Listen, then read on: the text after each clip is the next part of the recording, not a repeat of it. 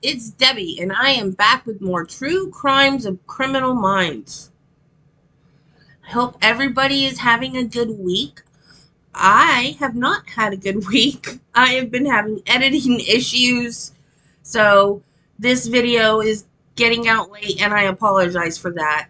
If you've never been to my channel before, what I do is I watch an episode of Criminal Minds, and then I talk about a true crime case that either the show was based on the crime, the crime was mentioned in the show, or sometimes it's just a similar crime as the one in the show.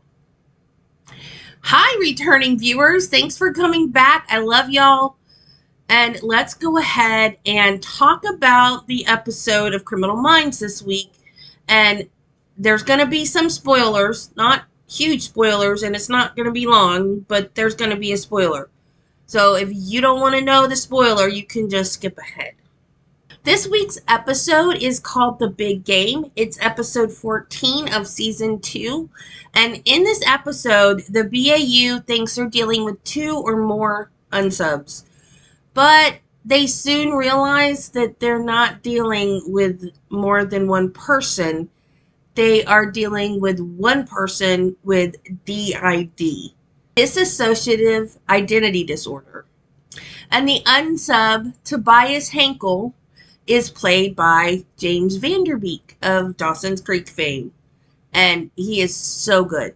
It's so believable that he has DID. It's such a good episode. And it also has a cliffhanger at the end. It's a two part episode. So this week we're talking about Billy Milligan, the man with 24 personalities. He was the first person in U.S. history to be found not guilty by reason of insanity with a DID diagnosis. So let's go ahead and get started.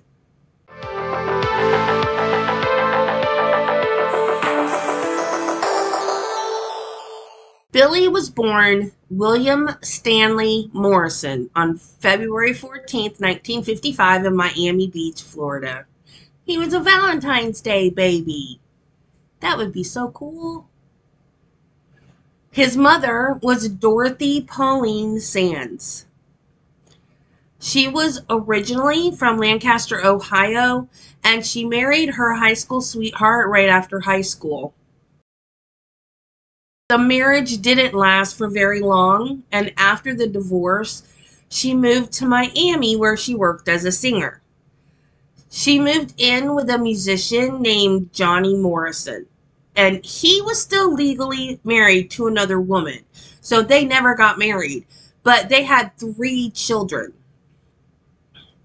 They had two sons, Jim and Billy, and a daughter named Kathy. And Billy was the middle child. Billy's dad, Johnny, had problems with depression, gambling, and alcohol. One time, Dorothy found him passed out with a bottle of scotch and a bottle, an empty bottle of sleeping pills on the floor.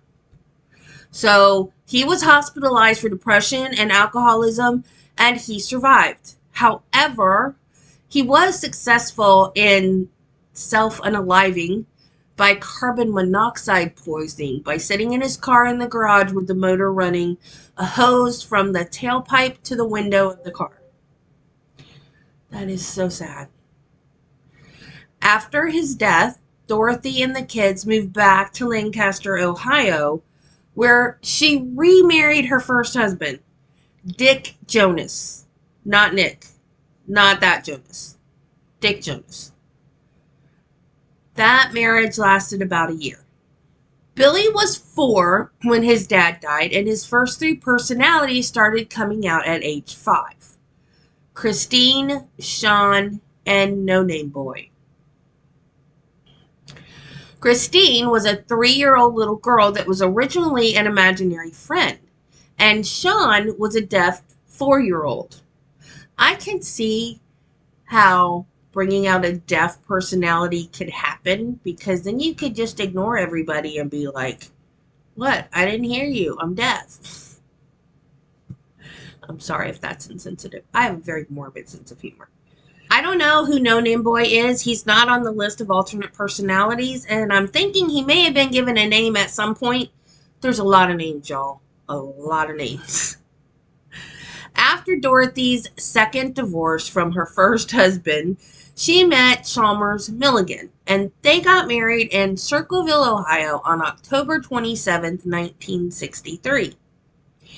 Chalmers adopted all three kids and changed their names to Milligan. He had two daughters from a previous marriage Chala, who was the same age as Billy, and another older daughter who was a nurse. His first wife divorced him for gross neglect.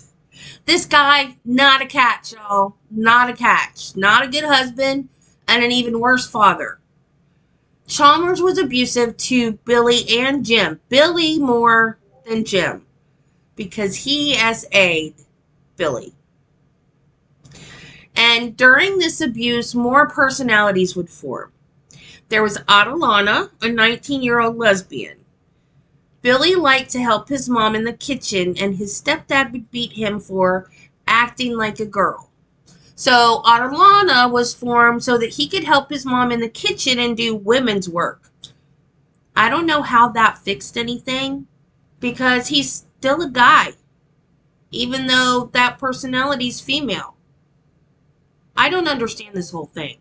I had so much fun researching this because it fascinated me. I still don't understand it, but it's fascinating. So one of the videos that I watched is Emma Kenny, I believe her name is. She's a psychologist in in the UK. So I watched her video and she said that sometimes an offender will pick the most vulnerable child it's the act of control that they get off on, not the number of people that they abuse. And a lot of times, siblings will defend the abusive parent because they've never been abused. And sometimes they don't even know about the abuse being done to their sibling. So they just they don't believe it. They think, "Oh, you're just mad at dad or whatever, making it up." Like they don't believe it's a true thing. But Billy's family did. They testified at his trial that it was torture living with Chalmers. And when Jim, Billy's older brother, threatened Chalmers with a knife after a violent episode, he left and he never went back to the family. Billy was hospitalized as a teenager with a diagnosis of hysterical neurosis with passive aggressive tendencies. Hysterical neurosis is a neurotic disorder characterized by violent emotional outbreaks and disturbances of sensory and motor functions. He tried to unalive himself when he was 16 years old, but one of his alters stopped it from happening by putting him to sleep. He said he'd been asleep for seven years prior to committing the crimes. Dissociative identity disorder, formerly called multiple personality disorder, is a mental health condition that is characterized by having two or more distinct personalities and memory gaps. It is a very rare diagnosis, less than 1% of the population has it. And of that 1%, 95 to 98% of cases were caused by childhood abuse when the core personality can't handle the abuse, like this is the core, and then this personality splinters out into other personalities. And it's to protect the core personality. And each alter is formed for a specific purpose. And people with DID are usually not violent, but this case is a little different. Billy was arrested in 1975 for robbery and grape. He served two years in Lebanon Correctional Facility and was paroled in 1977. Also, in 1977, he was arrested for three counts of kidnapping, three counts of aggravated robbery, and four counts of grape. He held the women at gunpoint and he abducted some of the women from their cars and one of the victim's cars had his fingerprint in it. Another victim was able to identify him from his mugshot. When they got the search warrant for his house, they found women's driver's license, trophies that he had taken from them, like jewelry and stuff, their credit cards, weapons, and running clothes, I think they said. And I don't know where the running clothes fit in unless maybe the women testified that he was wearing running clothes. I don't know. But, anyways, they found a whole bunch of stuff that linked him directly to the crimes. He was immediately sent to Ohio State Penitentiary because having a weapon was a parole violation. Um, isn't committing another crime a parole violation? Because, like, every website, every video that I watched, it made a big deal about him immediately going back to prison because of the weapon being a parole violation. Committing crimes are parole violation too. Unless I'm wrong. I don't think I am. anyway, Billy claimed that it wasn't him. It was his alternate personalities. Ragen, a 23 year old Yugoslavian man, was the one doing the robberies, and Adalana, the 19 year old lesbian, was the one doing the grapes. Yeah, I know. That's weird. he had no memory whatsoever of the crimes. Adalana had no memory of the robberies, and Ragen had no memories of the grapes. OSU Police Investigation Supervisor Elliot Boxerbaum recalled, I couldn't tell you what was going on, but it was like I was talking to different people at different times. One of his victims testified in court that sometimes he would act like a child and he would kind of switch back and forth between a child and a gay woman. It seemed like he was acting like a gay woman. And she actually said this in the trial. Billy was also really chatty while he was doing his thing. He would tell them that he was a wealthy businessman with a Maserati or that after the attack he was going to jet off to Tangiers and also that he had killed like three people.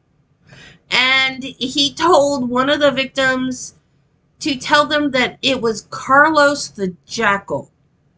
Billy was examined by multiple psychiatrists and psychologists. Dr. Willis C. Driscoll diagnosed him with acute schizophrenia, and it is thought that his real father was also schizophrenic. But then he saw Dr. Dorothy Turner, who diagnosed him with DID. Billy was found not guilty by reason of insanity and was sent to the Central Ohio Psychiatric Hospital. He was treated like a celebrity, even allowed to be out on furlough without supervision. Because that's a good idea. Yeah. Let's let the dude that does crimes against women just roam around unsupervised. But they revoked that privilege, praise the Lord. Not not praise the Lord because of what he did, but praise the Lord because they revoked that privilege.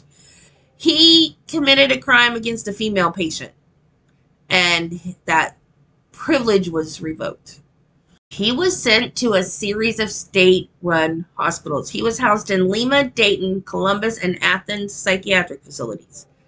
On July 4th, Independence Day, and I don't think this is a coincidence. I really, really don't. I think it's funny. On Independence Day, 1986, he escaped. He escaped from Central Ohio Psychiatric Hospital. And then he went to Bellingham, Washington, all the way on the other side of the country, and he started a hot tub business. so this man breaks, breaks out of a mental hospital, and then he starts a successful hot tub business. This is such a weird case, y'all. So, anyway, he was able to get papers that said his name was Christopher Carr. And he moved in with a man named Michael Madden. And I don't know if this was a relationship, a business partner thing, or if they were just roommates. But for some reason, they had a joint bank account. And Billy was actually cashing Michael's disability checks. Michael Pierce Madden was last seen on September 15, 1986, arguing with a man that fit Billy's description. He has never been seen again. Then Billy left Washington State and went to Florida, where, whoa, we caught him! and they sent him back to the hospital. Why do they keep coming to Florida? Bundy, Wuornos, Henry Lee Lucas. Bill, why? We catch them. if you, I mean, look at Bundy. State to state to state to state, Florida. Boom. like, why are you guys coming here? We're just gonna catch you. Billy's alternate personalities did not come out when he was in a relationship with someone. They only came out during stressful or dangerous situations. And let me tell you, Billy had some girlfriends. He had girlfriends in the hospital. He even had relationships with staff members. That is so unethical. You should never have a personal relationship with any of your patients. That's just wrong, especially psychiatric patients. He even got married briefly to the sister of one of the patients at the hospital. And that marriage lasted about 50 days. Doctors eventually believed that they had been able to fuse all of his 24 personalities into one. He was released from the hospital in 1988. On August 1st, 1991, he was officially released from the Ohio mental health system. He moved to California and started a production company called, this is so clever, Stormy Life Productions, because he had a stormy life. I think that is such a cool name. He was in talks with James Cameron of Avatar Terminator fame, David Fincher, and Joel Schumacher to make a film about his life, and Leonardo DiCaprio was set to play him. He would have been really good in this role. Have you guys seen Shutter Island? You need to see Shutter Island. It's amazing. The deal for the movie fell through and it never got made.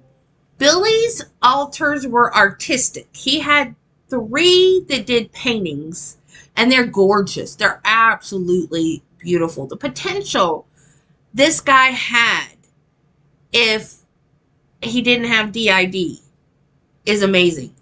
So he got quite a bit of money. Like he sold his paintings for thousands of dollars. But because he got cured and released, he now has a hospital bill. $450,000. So he, I think it was around 170,000 that he was able to pay them but he was bankrupt after that. So I don't think they've ever seen any of the money other than the first 170,000. After Billy stint in Hollywood trying to get his story out, he disappeared for a while and no one knew where he was or what he was doing. Does that make anybody else nervous? That makes me nervous. Because what the heck? Nobody knew where he was. What if he was sick again and doing stuff he shouldn't be doing? Anyway, he eventually ended up living with his sister. I guess he showed up at her house one day and was like, hey, sis, can I stay? I don't know. But then she eventually bought him a trailer to live in. I think it was on her property, too. And then Billy, poor Billy, this had such a bad life. He got cancer and he was put into a nursing home in Ohio and he died on December 12th, 2014 when he was 59 years old. Okay, so let's talk about his alternate personalities. Now, try not to get confused because this is confusing as all get out. So I'm going to talk about these alternate personalities as if they're real people because that's the way every website, every video I watch described them, and it's the way Billy described them. He called them his family. And he called the place where they took control the spot. And there were two types of alternate personalities. One was desirables and the other one was undesirables. Imagine a completely, totally dark room full of people. Well, it's dark in there, so you can't see anyone. They're all in the shadows. A big spotlight. Boom, right in the middle of the room. That's the spot. That's where the personalities would go to take control in the spotlight. And then the other personalities would be around that one. And then the undesirables, they would be banished to the shadows. So they rarely ever got the spot and they were in the shadows all the time. So there were 10 personalities that were desirables, and these are the 10 personalities that were known at the time of the trial. And then there are 13 personalities that are undesirable. Arthur was the most dominant. He controlled the chaos. He controlled who occupied the spot. He was British, spoke with an accent, and was very intelligent. This is one of the things that confuses me. How do you know stuff at a young age that you have no way of knowing? Because Arthur knew things about science and medicine, and he specialized in hematology, which is the study of the diseases of the blood. And he would come out whenever intellectual or logical thinking was required, and he was even compared to Mr. Spock from Star Trek because he was so logical. Ragen Vadaskovich, he was a 23 year old Yugoslavian communist, and he wrote and spoke fluent Serbian. How? How did Billy learn all these accents and languages? I don't get it. Ragen was very strong physically. When Ragen was in the spot, Billy was super strong.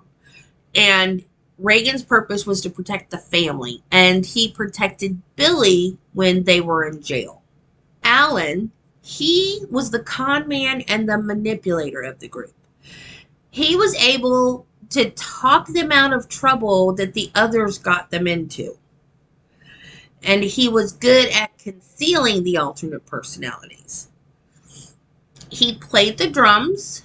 He smoked. He was the only one that smoked. The only addiction to nicotine was Alan. None of the others smoked. He painted portraits. He was right handed, and all the others were left handed.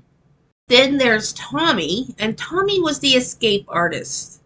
I'm thinking that Tommy was the one that broke them out of the hospital. He was a teenage tech expert and he could get out of straitjackets and pick any lock.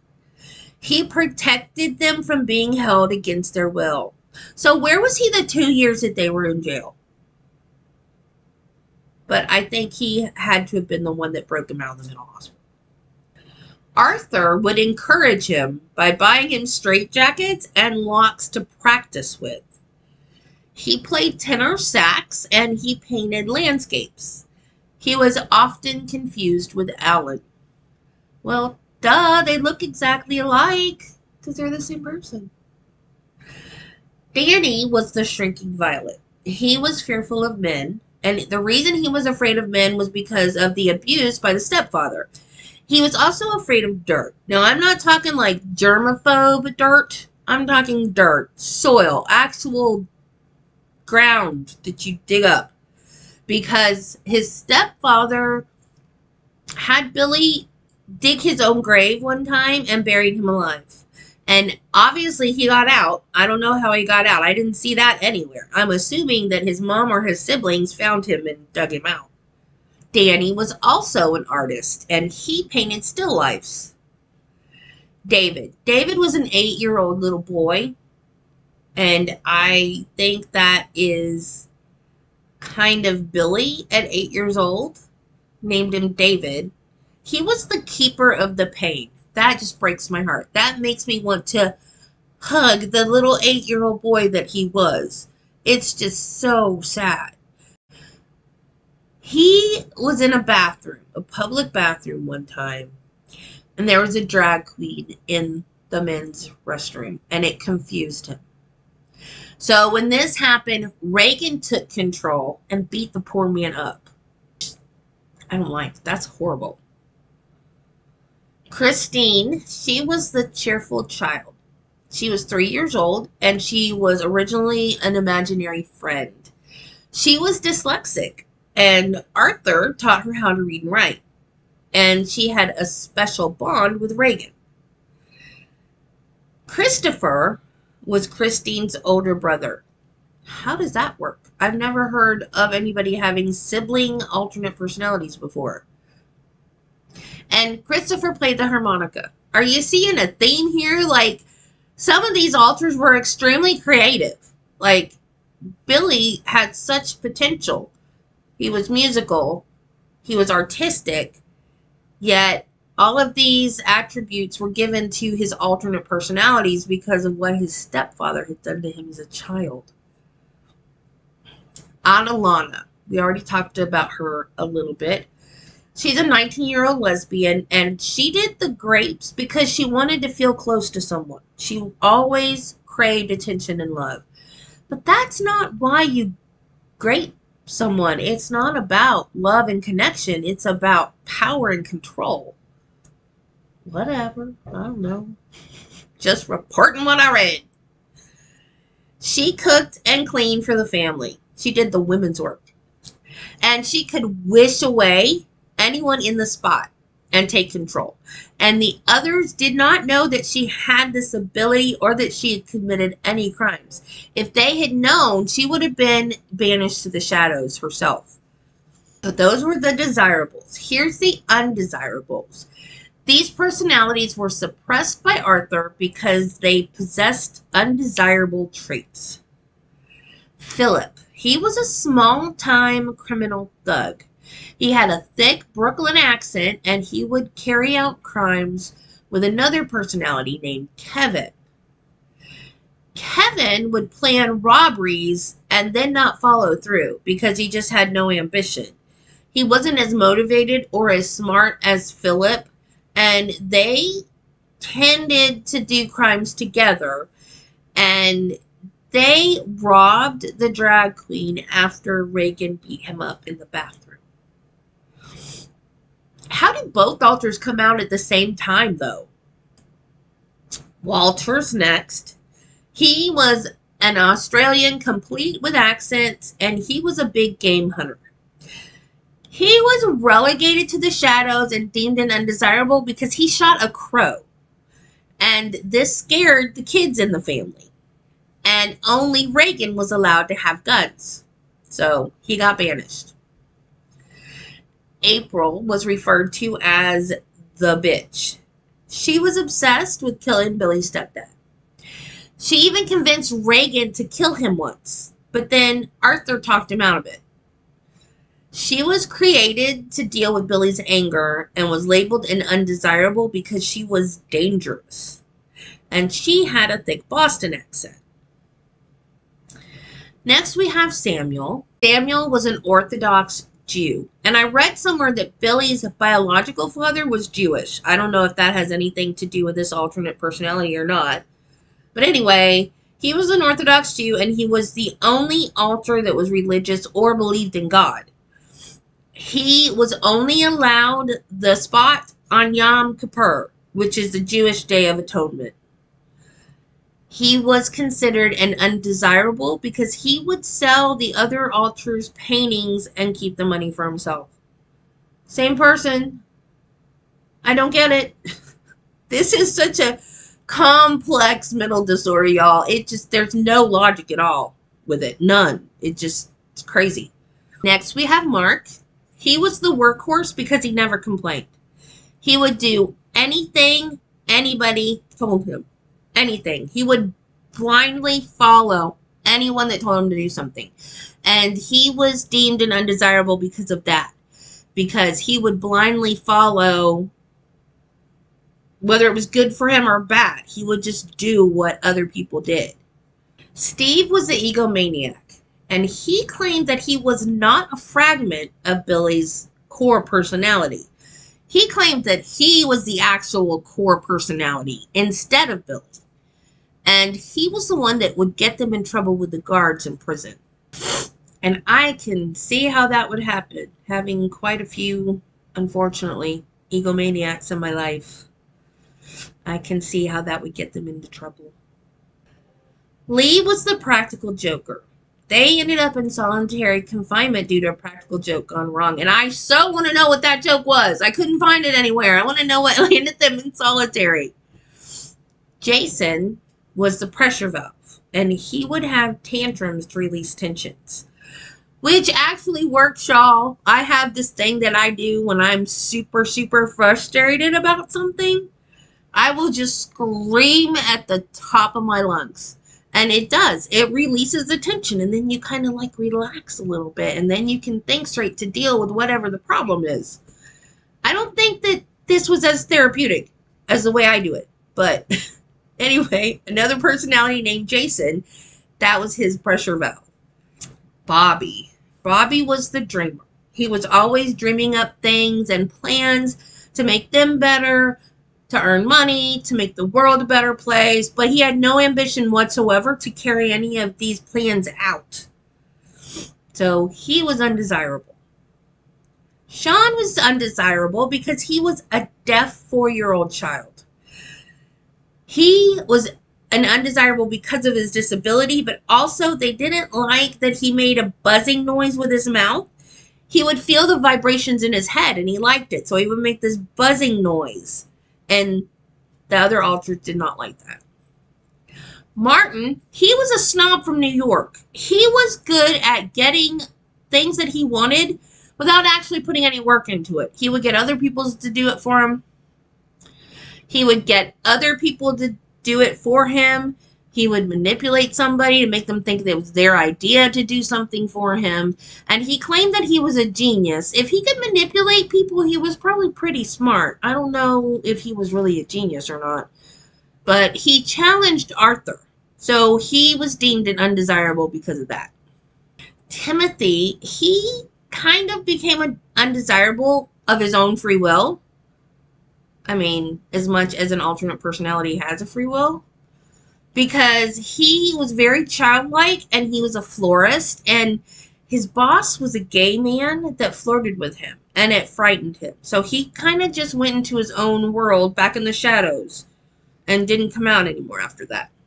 And the last alternate, which I think this one must have been developed in the mental hospital because it has no function previously to it but I don't know. I didn't read anywhere about that. I'm just making assumptions. So just an assumption could be totally wrong. But the teacher helped achieve the fusion of all the personalities. So the teacher would not have been needed earlier in life. I don't know. And the teacher remembered everything that the others did. The teacher was the only one that knew everything that was going on all the time. This painting this is an interesting painting. It is seven of his personalities, and he was asked to paint them in therapy. And going left to right, Alan, Tommy, Arthur, Adalana. Adalana is holding Christine. And then Ragen is to Adalana's left, our right, and then Kevin. See what a good painter he was? He has a lot of really, really pretty paintings. There is still much discussion around this case to this day. I have so many questions. How does a child know how to do a different accent or speak different languages? How did he know things about science and medicine and hematology and technology? And I'm not saying that he faked it. I believe this is a real disorder but I don't understand how you know a language without learning it. And his alters ranged from people with severe disabilities to people that were geniuses. How do you fake that? I I just have so many questions. Like, how do you speak a foreign language that you don't know when you're eight? You didn't learn it, you just know it. How does that work? I don't know. I'm so confused. Netflix has a four part documentary called Monsters Inside the 24 Faces of Billy Milligan. There's also a TV series on Apple TV about Billy's life, and it's called The Crowded Room. And Billy is played by Tom Holland. I think that one's a 10 part series. And there is also a book. I want to read this book. I've got a, from doing this YouTube channel. I've got a whole heck of a lot of books that I want to read now because a whole bunch of these cases were written up in the book. So this book was written by Daniel Keyes and it's called The Minds of Billy Milligan. And somebody also said that the movie Split is based on Billy, but I've seen that movie. It's a really good movie, but I don't think it's very similar at all to Billy's case. I think the only similarity is that they both had 24 personalities. But the movie's really good. I would recommend it. I don't know that it will clear up anything about DID or not, but it's a good movie. So, guys, that's the story of Billy Milligan. I hope you got something out of it. Thank you for watching. Don't forget to like, subscribe, share, comment, all the YouTube things. And let me know down in the comments what you think. Do you think it's a real disorder? Do you think justice was done? Do you think he was faking it? Let me know your, your thoughts down in the comments. And remember, be kind to people, love your family, and I will see you next time. Bye!